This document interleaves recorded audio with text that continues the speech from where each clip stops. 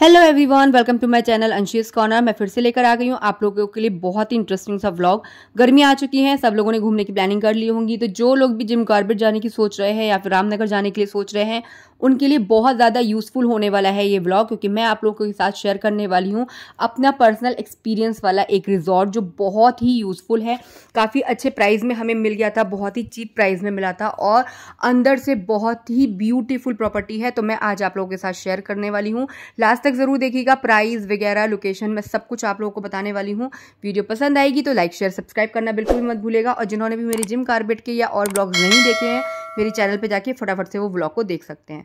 तो चलिए वीडियो को कर देते हैं फटाफट से स्टार्ट तो सबसे पहली बात, ये रिजॉर्ट का जो नाम है, वो है वाइल्ड क्रस्ट रिजॉर्ट जो बहुत ही अच्छा रिजॉर्ट है, बहुत ही कम रेट पे। तो जो लोग भी अगर जा रहे हैं रामनगर तो मैं उनके लिए ज़रूर सजेस्ट करूँगी, बहुत अच्छा ये रिजॉर्ट है। आप जब भी गिरजा देवी वाली रोड पे जाएँगे तो रास्ते में ही आपको इस तरीके से बोर्ड मिल जाएँगे द वाइल्ड क्रस्ट के। तो बहुत जगह लगे होते हैं। रोड से ही नीचे उतर के ये जो हमारा रिजॉर्ट है, ये आपको मिल जाएगा। ऑन रोड ही, हाईवे पे ही ये रिजॉर्ट है। आपको ज़्यादा कहीं अंदर सिटी में को या कहीं और जाने की ज़रूरत ही नहीं पड़ेगी। जिन्होंने भी दिकाला की बुकिंग कराई होगी, उनके लिए तो ये और भी ज़्यादा अच्छा होने वाला है, क्योंकि दिकाला यहाँ से ज़्यादा दूर नहीं है, दिकाला का जो भी गेट है जिम कार्बेट का। तो ये बहुत अच्छा बहुत ही ब्यूटीफुल सा रिजॉर्ट था। ये थी इनकी मेन एंट्री और यहाँ पे है इनका ये रिसेप्शन मॉर्निंग का व्यू बिल्कुल अलग है और रात का व्यू तो बिल्कुल ही अलग है। तो लास्ट में मैं आपको अपने नाइट व्यूज़ भी दिखाने वाली हूँ इस वाले रिजॉर्ट के। तो वीडियो को लास्ट तक ज़रूर देखेगा और मेरे चैनल को सब्सक्राइब करना बिल्कुल भी मत भूलिएगा। तो इतनी ग्रीनरी थी यहाँ पे इस रिजॉर्ट में। इतना ब्यूटीफुल था। बच्चों के लिए भी बहुत अच्छी अच्छी एक्टिविटीज़ थी। बड़ों के लिए भी काफ़ी काफ़ी अच्छी एक्टिविटीज़ थी। आप रिजॉर्ट का जो ये रिसेप्शन एरिया है, यही देख लीजिएगा। बहुत ज़्यादा खूबसूरत है। वीडियो के लास्ट में मैं आपको नाइट व्यू भी दिखाने वाली हूँ पूरा रिजॉर्ट का तो आप लोगों को बहुत मज़ा आने वाला है। तो रिजॉर्ट से निकल के यहाँ हम जा रहे थे अपने रूम्स वगैरह को देखने के लिए और आप देख सकते हैं एंट्री ही इतनी खूबसूरत है। मॉर्निंग का व्यू इतना खूबसूरत है तो अंदर रिजॉर्ट कितना ज़्यादा खूबसूरत होगा। मतलब अगर आप लोग कहीं भी घूमने नहीं जाते हैं, रिजॉर्ट में ही घूमेंगे ना तो उसमें बहुत मज़ा आएगा। तो ये यहाँ पे इन्होंने कॉटेज टाइप के बना रखे हैं, सारे कॉटेजेस के बाहर ये इस तरीके से सिटिंग एरिया भी दे रखा है। काफ़ी अच्छे अच्छे गार्डन भी हैं इनके। अगर आप लोगों को ब्रेकफास्ट लंच कुछ भी अगर खुले में करना है तो आप वहाँ बैठ के भी आराम से इंजॉय कर सकते हैं। इवनिंग की टी स्नैक्स भी आप अपने ब्रंच वगैरह भी यहाँ पे इंजॉय कर सकते हैं। तो ये जो रिजॉर्ट है, ये आपको एक तो मेन रोड पे मिलता है। दूसरा, इतना बड़ा है, इतनी ज़्यादा एक्टिविटीज़ हैं कि अगर आप कहीं और नहीं जाना चाह रहे हो तो रिजॉर्ट में भी आप अपने टू टू थ्री डेज़ आराम से इंजॉय कर सकते हैं। हम लोग, लोगों ने तीन कॉटेज लिए थे, जो हमें पास पास में ही कॉटेज मिल गए थे। तो रूम तो अंदर से मैं थोड़ी देर बाद दिखाने वाली हूँ। अभी मैं आपको बाहर का सारा व्यू दिखाने वाली हूँ। तो ये है इनका पूल एरिया बहुत सुंदर था। उसके बाहर ये सिटिंग एरिया था। बच्चों के लिए झूले थे, जिसपे आप भी इंजॉय कर सकते हैं बच्चों के साथ।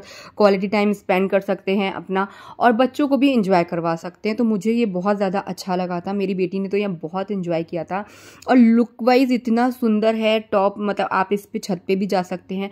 टॉप का व्यू भी मैंने लिया है, वो भी मैं आपको आगे दिखाने वाली हूँ।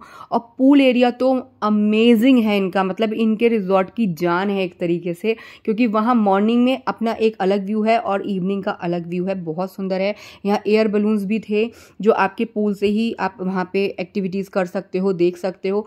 और हम लोगों ने बहुत ज़्यादा इंजॉय किया था पूल में क्योंकि गर्मियाँ इतनी हैं, गर्मियों में आप पूरा दिन भी पूल में पड़े रहोगे तो बहुत इंजॉय करोगे और पूल भी इनका काफ़ी ज़्यादा इन्होंने अच्छा बनाया हुआ है नीट एंड क्लीन था सर्विसेज़ बहुत ज़्यादा अच्छी थी। हम लोगों को हमने ये जब रिजॉर्ट लिया था तो जो भी हमारे चार्जेस गए थे, सब कुछ हमें उसी में इंक्लूड मिला था। ये नाइट व्यू आप देख सकते हो, जो बहुत ज़्यादा सुंदर था। बच्चों के लिए छोटा पूल है, बड़ों के लिए बड़ा पूल है तो ये सारी चीज़ें जो है ना, ये सारी चीज़ें अगर हमें एक रिजॉर्ट में मिल जाती हैं ना तो हमारा, आप ये समझ लीजिएगा कि बस वेकेशन बनी गया। क्योंकि वरना छोटी छोटी चीज़ों के लिए बाहर जाना पड़ेगा इधर उधर जाना पड़ेगा। उससे बेटर है अगर आपको सब चीज़ें एक जगह मिल जाएँ, बच्चे भी अपना इन्जॉय कर सकें, आप भी थोड़ा सा फ्री हो जाए ना तो उससे ज़्यादा अच्छा कुछ भी नहीं होता है।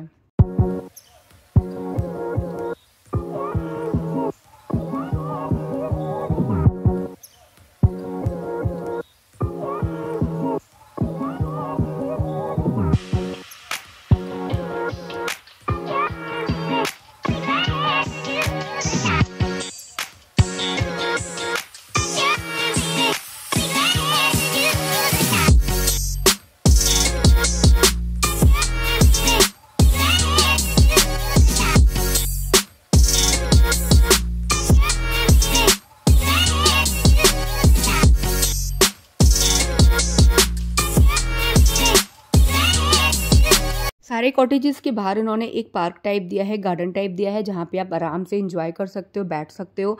तो हमारे ये चार कॉटेज थे, उनके बाद ही हमें पार्क मिला था। अब बात करते हैं खाने की। खाना इनका बहुत ज़्यादा टेस्टी था और ये इनका ये रेस्टोरेंट है, जहाँ आप बैठ के, यहाँ बुफे सिस्टम है, आप यहाँ बैठ के अपना लंच, डिनर, जो भी है, आप उसे इंजॉय कर सकते हैं, चाहे तो बाहर पार्क में बैठ के भी खा सकते हैं। तो खाना इनका बहुत ज़्यादा टेस्टी है। ब्रेकफास्ट भी किया, हमने लंच भी किया, साथ में डिनर भी किया था। तीनों ही चीज़ों में कोई टेस्ट का ऐसा नहीं था कि ये ज़्यादा अच्छा है या वो ज़्यादा बुरा है। सारी वैरायटीज़ मिलती हैं वेज भी है नॉन वेज भी है। तो अगर आपको एक अच्छी प्रॉपर्टी के साथ एक अच्छा खाना भी मिल जाता है तो वो और ज़्यादा अच्छा हो जाता है। क्योंकि हम लोग ट्रिप में ऑलमोस्ट अपने घर जैसे खाने को ज़रूर मिस करते हैं कि यार यार बहुत दिन हो गए, अब थोड़ा सा घर जैसा टेस्ट मिल जाए। तो हमें यहाँ का टेस्ट भी बहुत ज़्यादा अच्छा लगा था। बड़ों को भी पसंद आया और बच्चों को भी। और मेरे ट्रिप में आप देख सकते हैं हमारे यहाँ सीनियर सिटीज़न से लेके छोटे बच्चे भी हैं क्योंकि मेरे पापा हैं जो सीनियर सिटीज़न में आते हैं और मेरी बेटी है जो बच्चों में ही आती है। छोटी ही है अभी पाँच साल की। तो हम लोगों को खाना बहुत ज़्यादा अच्छा लगा था। अच्छे से टेस्टी खाना हम लोग को मिला तो हमने ये भी बहुत अच्छे से इंजॉय किया था।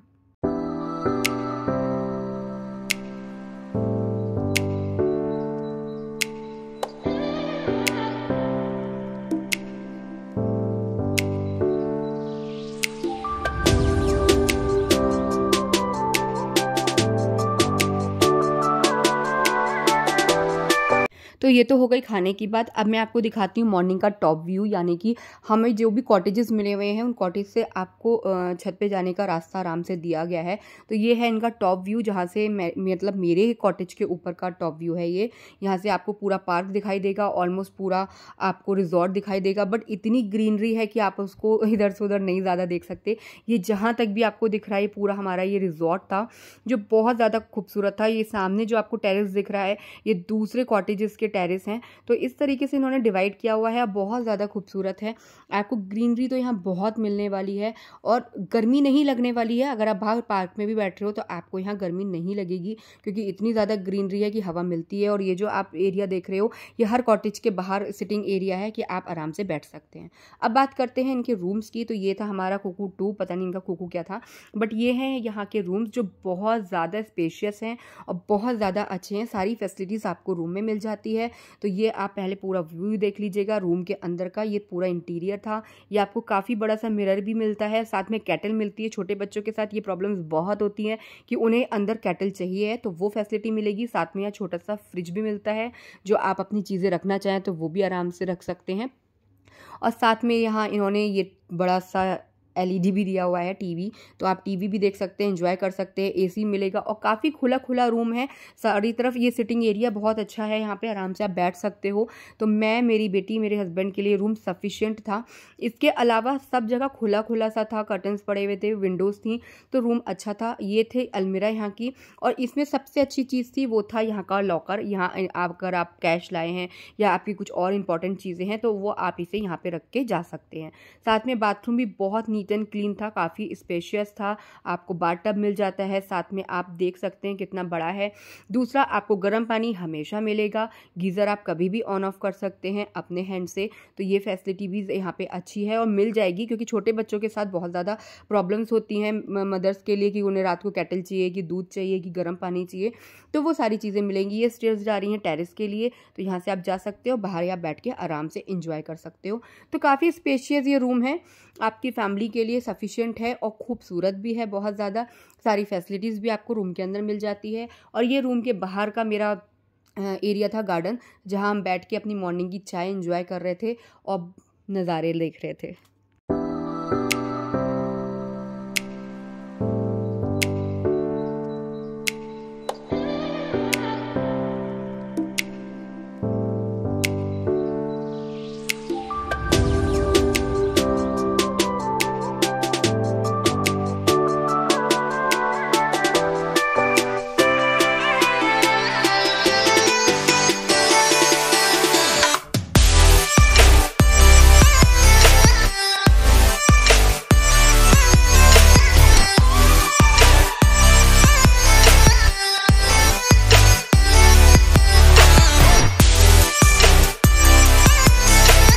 करते हैं पूल एरिया की नाइट व्यूज़ का, जो बहुत ज़्यादा खूबसूरत था। हम लोगों ने खूब ज़्यादा मज़ा करे हैं।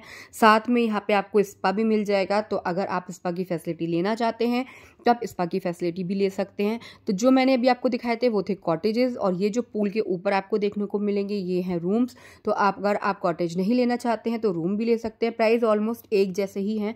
थोड़ा बहुत ही ऊपर नीचे हैं, बट मैं प्रेफर करूँगी कि आप लोग कॉटेज ही लीजिएगा, क्योंकि रूम थोड़े से छोटे हैं। तो कॉटेजेस जो हैं वो काफ़ी बड़े हैं और स्पेशियस हैं, आप आराम से रह सकते हो।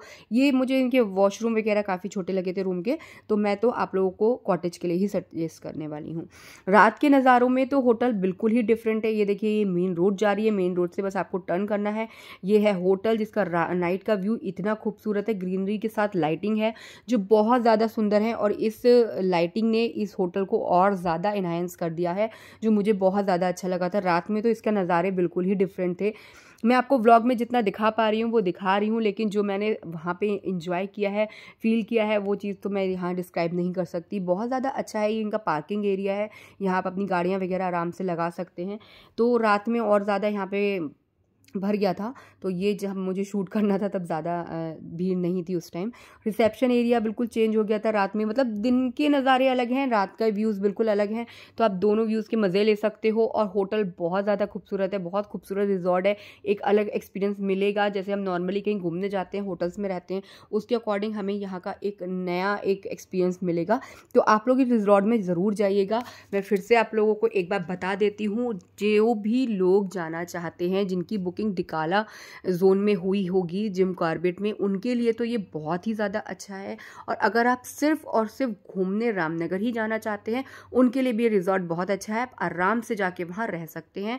ये आपको गिरजा देवी वाली रोड पे पड़ेगा, ऑन रोड ही ये होटल है, रिजॉर्ट है। इनके बोर्ड आपको कई जगह मिल जाएँगे और आपको किसी से भी पूछने की ज़रूरत नहीं पड़ेगी नहीं पड़ेगी। तो ये बहुत ही खूबसूरत सा रिजॉर्ट लगा था मेरा तो एक्सपीरियंस बहुत ज़्यादा अच्छा रहा, क्योंकि मेरी बेटी ने भी बहुत ज़्यादा इन्जॉय किया, हम लोगों ने भी बहुत ज़्यादा इन्जॉय किया। जो यहाँ फैसिलिटीज़ मिली हैं, वो भी हमें काफ़ी ज़्यादा अच्छी मिली थी। तो मुझे तो फ़िलहाल पर्सनली बहुत ज़्यादा पसंद आया था। रूम के बाहर गॉसिप करने के लिए सिटिंग एरिया दिया हुआ था। और फैमिली के साथ अगर आप जा रहे हैं और बैठ के अगर आपको आराम से बातें करने के लिए मिल जाए तो वो तो और भी ज़्यादा अच्छा होता है। मॉर्निंग में हम लोगों ने जिम कार्बेट वगैरह घूमे थे गिरजा देवी मंदिर गए थे और और भी जगह दो तीन जगह थे वहाँ पे, वहाँ भी घूमने गए हुए थे। तो उस सारी जगहों, उसके बाद जब हम रिजॉर्ट में आए तो काफ़ी ज़्यादा रिलैक्स फील हुआ, क्योंकि एक तो ग्रीनरी थी, वो ज़्यादा खूबसूरत थी, ऊपर से हम सारी फैमिली साथ में बैठ के बातें कर पा रहे थे, वो और भी ज़्यादा खूबसूरत आप देख सकते हैं, हम लोग इस तरीके से कॉटेज के बाहर बैठ के गप्पे मार रहे थे, बहुत ज़्यादा अच्छा है। गर्मियों के दिन है, गर्मियों के दिन में अगर इस तरीके का खुले एरिया मिल जाता है तो बहुत ज़्यादा अच्छा लगता है।